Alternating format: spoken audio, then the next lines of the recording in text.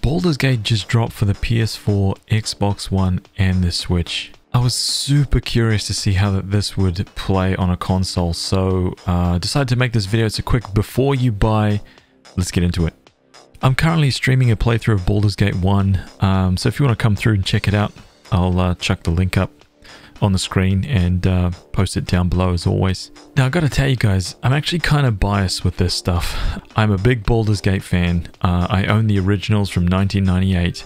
I've got the collector's edition, all my manuals and, and you know my maps and things like that are all in absolutely mint condition. I also have the HD enhanced editions on PC. Now I've purchased them again for the PS4. Firstly, the control system this is probably the biggest thing. Obviously in the PC, this kind of top-down isometric RPG was kind of a drag, uh, you know, drag select over your party, click on the screen where you want them to walk to, you know, click over enemies to attack them. It was that kind of game. I honestly didn't really know how this was going to translate and what they were going to do, but they completely mapped the movement to the D-stick.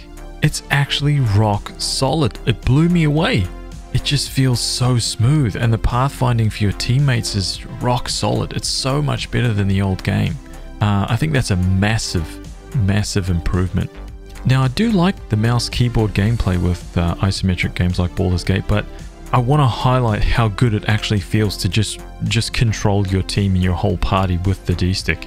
It actually just feels good and it just works. However, there are still some some kind of cumbersome and annoying things. I don't know about you guys, but I'm one of the Baldur's Gate players that pretty much loots everything or tries to loot everything. I don't really pickpocket people, um, but if there's uh, you know if there's a chest, I got to get into it. So thievery, constantly having to press square to open up the action menu, use the D-pad to move across to the thievery, click the thievery skill, and then click on the chest or drawer or thing that I'm trying to unlock or um, pick the lock of, that is pretty damn cumbersome. I would have really liked some way to assign some kind of quick keys, like maybe some kind of mapping thing, so I could map, uh, firstly, a quick save. That would have been damn helpful as well. Um, a quick save button, and I would have liked to be able to map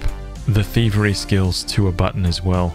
Because right now having to do all of those movements just to pick a lock only to fail and to try again two, three times is actually quite cumbersome. Other than that, I find, you know, the inventory spells, I like the radial menus.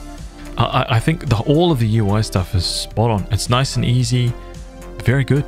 Gameplay wise, um, just for those people who haven't played a Baldur's Gate before at all, uh, this game is very difficult, especially if you're playing on like standard D&D difficulty. Um, I haven't actually tried any of the difficulties below that, so I'm not sure. I'm guessing there is a story mode difficulty. They basically have story mode, easy, uh, normal, core rules, and there's a couple, I think there's hard, insane, and legacy of Baal mode. So there's a lot of difficulty if you're finding it too difficult or if you're finding it too easy. Obviously you can crank that up and down as you like throughout the game. But if you're playing on default D&D rules, you're gonna die a lot. Probably more than you'd ever died in any Souls games. And again, for those who don't know, death is permanent in this game. You can recruit characters in this game that can basically journey with you from the start to end. And if they die, they're done. So you kind of don't, you want to do your best to keep them alive.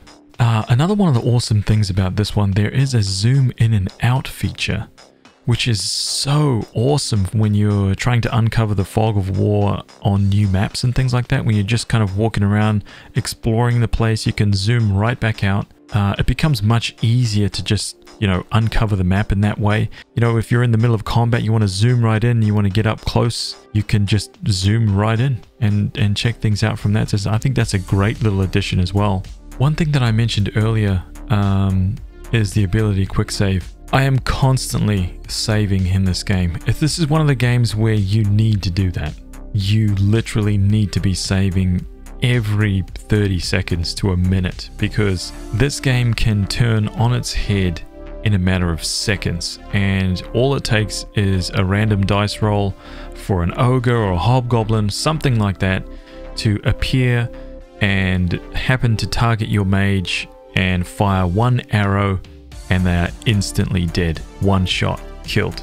And if you haven't saved your game for the last 20 minutes, something like that, you lose all of that progress or you move forward with that character dead.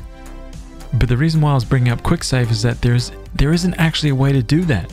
You have to open up the menu and manually click save and then overwrite every single time you want to do it. And it's it's a, it's a few clicks. It's not as bad as using your thieving abilities, but it still seems like it's too many clicks to do something that could essentially be, you know, a button combo. Hold down this trigger plus that, boom, done, quick saved. Uh, that would have been really helpful here. Uh, one other thing, I should have mentioned this back in the, when we were talking about the UI, but there is another thing. They actually added a feature to scale up the UI and the font. So for couch gamers who are sitting a long way from the TV, I actually think this is a very cool thing. It's actually awesome because you, you, you now you can read the font, right? From sitting uh, 10 feet away on your couch, it's nice and easily readable. Brilliant. Now this isn't going to be a review of Baldur's Gate, so without delving into the story and giving away any spoilers or anything like that, I think the only thing really left to talk about is whether or not you should buy it. Again, for the consoles. For me, it's one of those things. I just, I really wanted to get the Platinum Trophy right? That's why I wanted the PS4 version. It looks like the Platinum Trophy is going to be quite challenging. It doesn't look like it's something that can be done in one playthrough. Actually, I've already looked at some of the trophies and there's no way to secure a lot of them without playing multiple times. So it's definitely a multiple playthrough Platinum Trophy if that's something you're interested in. Otherwise, there's not really a lot to be gained from owning this version if you already have it. If you can pick it up for cheap, maybe it's worth it. If you just love Baldur's Gate and you love everything about it and you want to play it on your Switch, you want a mobile version of Baldur's Gate, then maybe it's worth grabbing. You know, if, if it's something, if it's a game you really love and you want to give it a try again, a bit of a refresh, pick it up. Aside from the things that I've already talked about, it's pretty much the exact same game. If you've already purchased it, like I said, maybe it's not for you. If you're a hardcore fan, I say pick it up. Experience it again on a controller, playing on your couch. It's awesome.